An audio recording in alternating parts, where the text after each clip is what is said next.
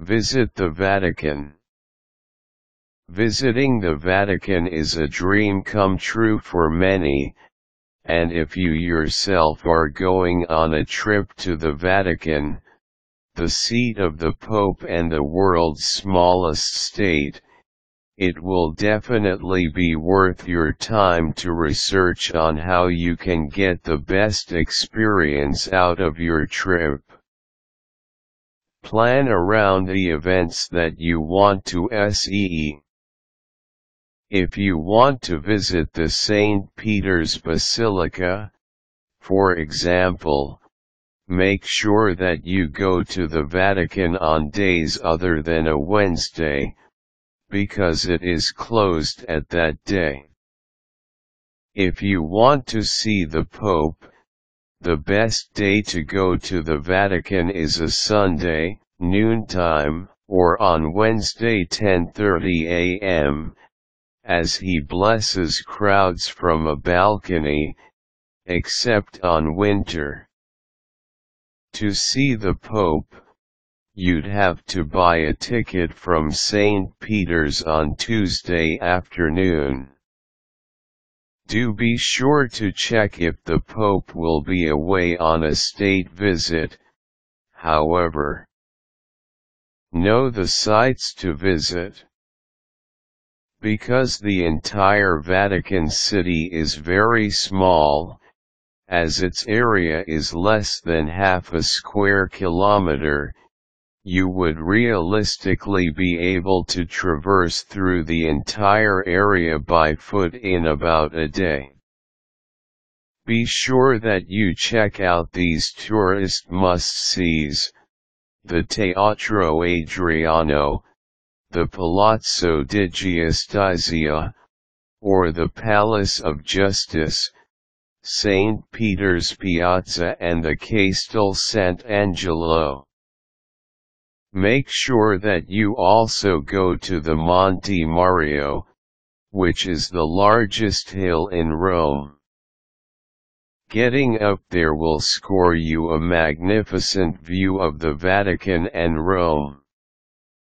Of course, most of your time will probably spent at the St. Peter's Basilica and the Vatican Museum, the two most important structures in the Vatican City, see number 3. Visit the St. Peter's Basilica and the Vatican Museum. The Basilica is open every day from April to September, from 9 a.m. to 7 p.m., and from 9 a.m. to 6 p.m. from October to March. It is, however, closed on Wednesday mornings. It's best to visit the Basilica in the morning and during the middle of the week to avoid long lines. Free tours to the Basilica leave from the Vatican Tourist Information at 2.15 p.m. or at 3 p.m. Tours to the Vatican Museum, on the other hand, cost 31 euros and leave at 10.30 a.m., 12 noon, and 2 p.m., 10.30 a.m. and 11.15 a.m. in the winter. Know what to wear.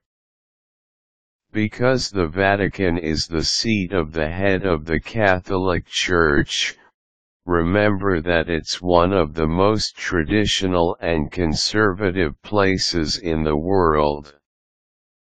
You might be refused entry to some buildings if you are not wearing the proper attire.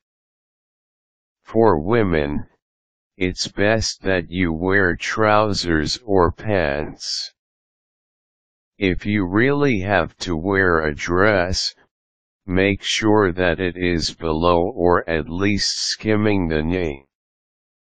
You should also bring along a shawl to cover your shoulders if you are wearing a sleeveless dress. For men, it's best to wear trousers or pants and closed shoes. Here's another tip. You might want to read the book, Angels and Demons if only so you could get another perspective of the Vatican City.